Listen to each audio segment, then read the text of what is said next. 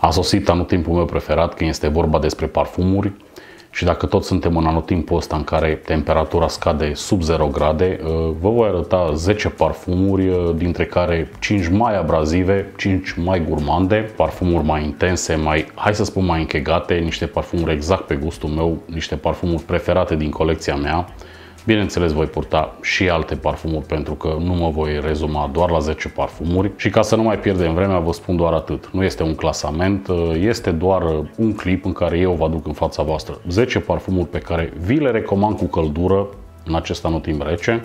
Prima recomandare vine de la Ahmed și se numește Oud Classic un parfum care nu se bazează pe ud în primul rând, în care udul nu este notă centrală, are niște reminiscențe de ud, are niște fărâmituri, hai să spun așa, de ud, dar uh, parfumul ăsta este bazat pe salvie, lavandă și mușcată. Un parfum fresh, care totuși merge în zona mai vintage, mai uh, clasică a parfumeriei, un parfum care denotă eleganță, un parfum uh, în același timp uh, fresh, revigorant, nu este un parfum uh, foarte greu, bisericesc, animalic, întunecat sau așa mai departe. Este pur și simplu un parfum refreshing pe care poți să-l folosești în diminețile de iarnă când, știu eu, mergi la lucru sau așa, sau pur și simplu vrei să stai acasă să te relaxezi, poți să pufăi două jeturi din acest parfum și te simți extraordinar de bine. Casa Ahmed face niște parfumuri foarte faine. Asta a fost prima recomandare, Ud clasic de la Ahmed, pe care ți-l recomand cu căldură. Și următorul parfum tot de la Ahmed vine și se numește Ahmed Navatic. Acest parfum care are o sticlă frosty, uh, ca și Aqua di Gio, pentru că, da, oarecum îmi amintește de Aqua di Gio. Ca și prezentare mă refer că parfumul este pe cu totul și cu totul altă direcție, deci nu este pe zona aia acvatică, de vară, marină sau așa mai departe. Este un parfum foarte challenging, este un parfum extrem, dar extrem de amar. Este un parfum pe care nu-l poate purta oricine, dar odată ce te obișnuiești cu el, s-ar putea să-ți placă, s-ar putea să înțelegi care este direcția acestui parfum. Pentru că parfumul ăsta îți dă înficați, efectiv îți dă înficați în ultimul hal. Așadar, un jet maxim două este mai mult decât suficient. Când te uiți așa la notele listate, zici, băi, ăsta e un parfum pentru toată lumea, poate să poarte toată lumea sau așa. Dar eu ceea ce simt, în primul rând, este o frunză de lămâie împreună cu o notă de tămâie neaprinsă, până acum nimic neobișnuit.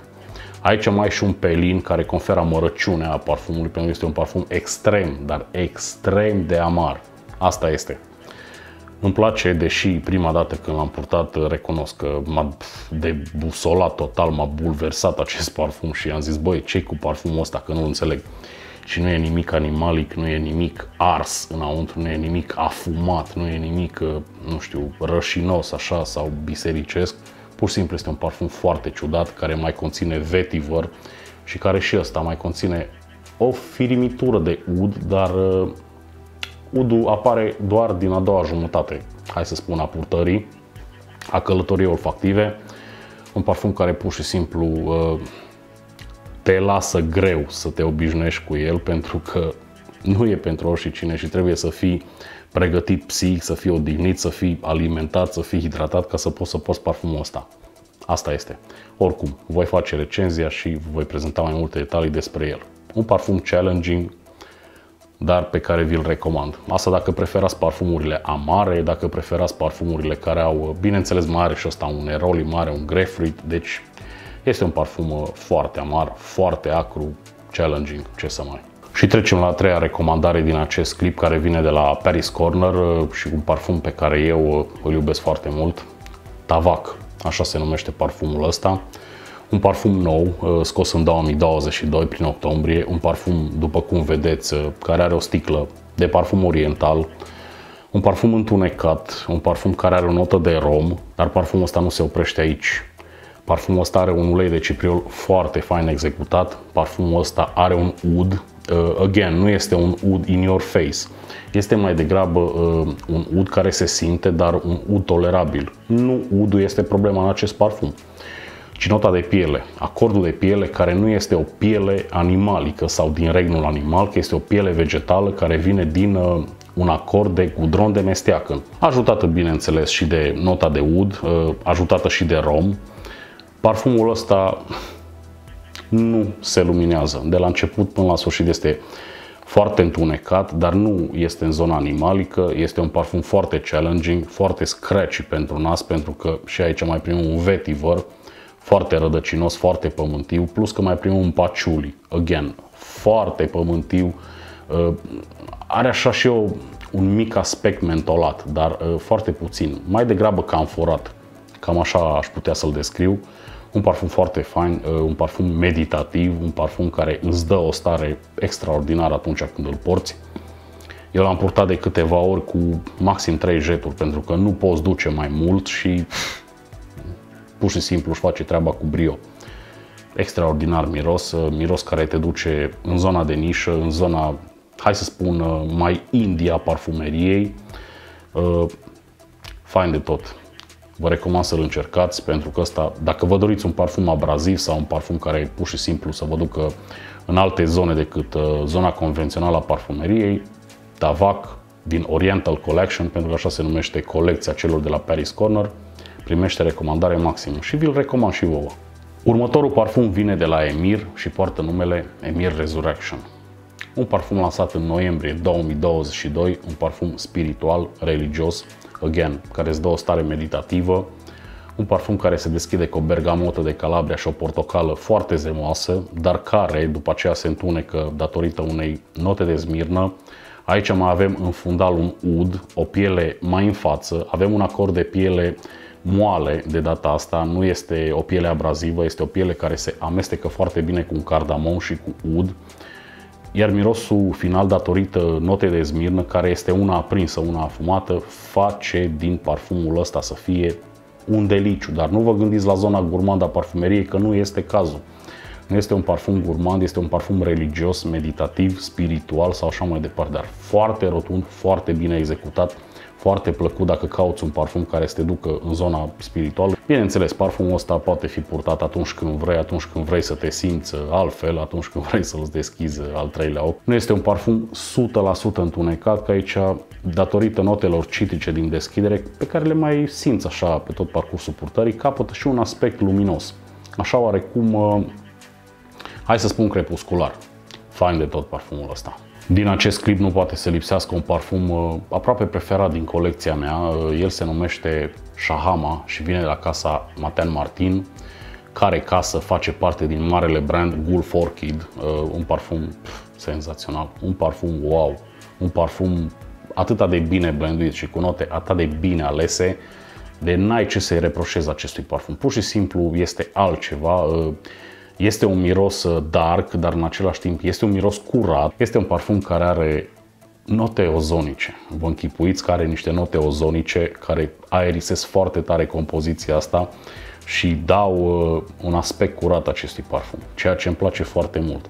În parfumul ăsta primim mușcată, garoafă, piele, lavandă, ud și cedru. Toate notele astea se întrepătrund, se amestecă foarte bine și formează un tot unitar olfactiv foarte high class. Uh, este un uh, parfum mai industrial, dar în același timp uh, are ceva curat, are ceva elegant în compoziția lui. Categoric acest parfum poate fi purtat la sol festiv, acest parfum poate fi purtat în zona elegantă a parfumeriei atunci când te îmbraci foarte fain și mergi unde trebuie să mergi. Dar de ce nu poate fi purtat și de zi cu zi pentru că na, eu port un parfum atunci când îmi cade bine, atunci când îmi place, atunci când vreau să resimt aroma, îl recomand pentru iarnă, pentru temperaturi joase, pentru temperaturi extrem de joase, pentru temperaturile cele mai joase, recomand acest parfum numit Shahama, care vine de la Maten Martin. Vreau să trec la zona gurmandă a parfumeriei, iar ultimele 5 parfumuri din acest clip uh, sunt mai gurmande, sunt mai uh, tolerabile, hai să spun, pentru oamenii care sunt la început de drum. Și acum uh, vă prezint un parfum de la FNAN numit Tribute Black. Acest parfum care este semi-gurmand, dar este și semi-oriental afumat. În zona tradițională, clasică a parfumerii orientale, pentru că aici primim utrandafir șofran, clasic, deja, Sfânta Treime a parfumeriei, orientale, dar nu se oprește totul aici. Parfumul ăsta are niște apucături de Xerjoff More Than Words dar nu se termină totul aici, pentru că el o ia pe direcția lui proprie, își vede de treabă, nu rămâne acolo în zona aia, hai să spun, oarecum repetitivă, ca să fiu elegant. În parfumul ăsta mai găsești și niște note gurmande, mai găsești uh, vanilie, mai găsești uh, lămâie și ghimbir, iar combinația asta între lămâie, ghimbir și vanilie, mai și o ambră acolo și o portocală, Toată combinația asta transformă mirosul acestui parfum într-un biscuite cu cremă de vanilie și cu ghimbir, dacă are sens ce spun aici. Bineînțeles că notele orientale, aspectul la oriental, nu te va părăsi așa ușor. Unul dintre cele mai faine parfumuri de la Afnan de pe piață. Vă spun sincer, sunt foarte multe game, Afnan ăștia au niște game, niște parfumuri foarte faine, pentru toată lumea, de la fresh acvatice până la mai dark, mai orientale, mai challenging, iar ăsta este un parfum foarte elegant, merge și în zona gurmandă. Primim aici și niște note soapy, niște note aldehidice care conferă acestui parfum uh, și un aspect mai curat, bineînțeles elegant, foarte fain, ador acest parfum. Următorul parfum vine tot de la Afnan și poartă numele Vadi Al Dahab. Acest parfum care arată ca un bloc, clădire din Manhattan, din New York, și care are legătură cu zona gurmandă, full a parfumeriei. Deci parfumul ăsta este 100% gurmand. Ai putea să-l confunzi cu o aromă alimentară, cu un aliment din supermarket. Și vă spun mai exact despre ce este vorba. Parfumul ăsta are un iz de Nutella. Pe pâine. Nutella fiind foarte dulce, pâinea fiind sărată, toate mirosurile astea, sau mă rog, aceste două mirosuri se întrepătrund și se combină foarte fain.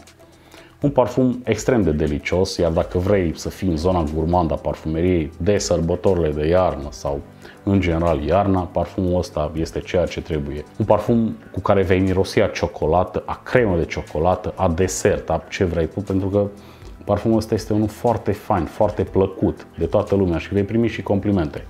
Cacao și alune conține, mai conține vanilie, mai conține niște zmirnă acolo în fundal, uh, dar deși conține zmirnă împreună cu niște ambră și tonca, totuși parfumul ăsta merge doar în zona gurmand, merge doar în zona gurmandă, deci nu merge în zona pură a parfumeriei să aibă aspect 100% de parfum, pentru că aici este, nu știu, ceva gurmand acolo.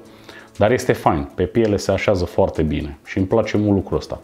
Se deschide cu o portocală, la un moment dat vei simți și portocala respectivă, este prezentă, este acolo, dar dispare, după aceea Nutella, Nutella, Nutella. Nutella pe pâine. Dacă îți place mirosul ăla, bine, s-ar putea să-ți placă, s-ar putea să nu-ți placă. Cine știe? Mie îmi place, vă spun sincer. Dacă îți place scorțișoara, dacă îți place o scorțișoară foarte bine interpretată, o scorțișoară foarte plăcută, care întoarce efectiv priviri pe stradă, atunci trebuie să ai Cranford Tobacco Wood. Acest parfum care se bazează pe o notă de scorțișoară și care nota de scorțișoară reprezintă mai bine de 50%, către 60% din mirosul acestui parfum. Cea mai frumoasă notă de scorțișoară pe care eu personal am întâlnit-o într-un parfum. Vă spun sincer. Bineînțeles, pe lângă scorțișoară mai primim un caramel sărat, a.k.a. sneakers, cum îmi place mie să-i spun. Pe lângă notele astea mai primim vanilie și tutun. Iar uh, combinația asta dintre note te duce la o zonă pe care deja o cunoști. Dacă cunoști zona rag baud intens, deși nu este același lucru cu rag baud intens, ăsta este din punctul meu de vedere mult mai bun și mult mai fain. Dar dacă cunoști zona aia cu cele 100 de parfumuri, By the Fireplace, Tom Ford Tobacco Wood și așa mai departe, parfumul ăsta poate fi o plăcere. Deci dacă vrei o bombă de scorțișoară, interpretată foarte fain, foarte natural, zici că desfaci punga, punga cu scorțișoară și efectiv o miroși, parfumul ăsta este ceea ce ai nevoie. Extrem de fain, vă spun sincer. Oricum, la toate parfumurile o să le fac recenzii, o să povestim mai pe larg de ele, de performanțe, de nu știu ce. Oricum, toate rezistă pe pielea mea mult peste 7-8 ore, asta este. O să vorbim mai multe în recenziile in-depth pentru ele. Dacă îți plac parfumurile gurmande, atunci e musai sai Aurora Sherry Blossom, în care parfumerul a fost Lorenzo de Mozici. Acest parfum are o notă de cireașă nelistată, dar care rezultă din uh, combinația altor note și aici este mai uh, exact vorba despre o notă de cafea, o notă de mentă, pară plus măr, ambră, vanilie și tonka. Toate notele astea în combinație formează un acord care te duce la arborile de cireș, la tot ceea ce înseamnă mirosul acela fascinant, un miros pe care eu îl agreiez foarte mult, pe care îl ador foarte mult. Vă spun sincer că este yummy parfumul ăsta, este delicios, este o plăcere să-l porți. Parfumul ăsta este unisex, deși zice-se că este un parfum feminin. Bineînțeles, este unisex, dar înclină mai mult balanța spre partea feminină, circa 60-65%. Bă, sincer, nu mă interesează aspectul ăsta. Eu îl port pentru simplu fapt că îmi face plăcere să-l port, îmi face plăcere să-i resimt aroma pe piele. Este un parfum care efectiv întoarce capete pe stradă și vei primi atâtea complimente că pf, rămâi bulversat. Îți spun sincer, un parfum extrem de fain, extrem de bine realizat, dar mare atenție, este foarte puternic, deci aici dacă aplici mai mult de 3-4 pufuri, s-ar putea să ai probleme, pentru că este foarte puternic, vă spun sincer. Dar toate notele astea gurmande se întrepătrund, se întrepătrund foarte bine. Aici, de uh, nicăieri, la un moment dat mai apare o notă de smirnă, dar uh, foarte în fundal. Foarte în fundal, numai cât să dea acestui parfum aspect de parfum. Și dacă îți place nota de cireașă întunecată, dacă îți place zona dark a parfumeriei cu cireșe, uh, atunci trebuie să ai neapărat Caraz Shams. Acest parfum, care are o notă de cireașă imersată în alcool, în lichior, dar pe lângă toate chestiile astea mai primește o migdală amară, mai primește o vanilie și deja ghișce, azi ghicit. Este clonă de Lost Sherry. Este un parfum plăcut, nu este challenging, nu este genul de parfum cu care vei sufoca sau uh, vei epata. Pur și simplu este genul de parfum foarte plăcut de către toți cei din jur, asta dacă, nu știu, dacă mergi prin lume. Este exact ceea ce trebuie. Îmi place foarte mult, vi-l recomand și vouă. Una dintre cele mai bune, nu zic că e cea mai bună clonă de Lost Sherry, dar una dintre cele mai bune clone de Lost Sherry. Mai sunt și altele, dar o să vorbim în alt uh, clip. Cam astea sunt uh, cele 10 parfumuri pe care eu uh, ți le recomand pentru a le purta în iarna asta și nu numai. Până la urmă le porți absolut când vrei, până la urmă le porți când îți face plăcere cine sunt eu să îți spun când să le porți, dar eu le voi purta în iarna asta alături de ești de mii de alte parfumuri pentru că iarna e lungă, ăsta e adevărul. Aștept să-mi spui în secțiunea de comentarii cam ce parfumuri ți se potrivesc, care parfumuri îți dau o stare bună iarna și ce mai recomand pe acolo. Mersi că te-ai uitat și la acest clip și până data viitoare, toate cele bune! thank you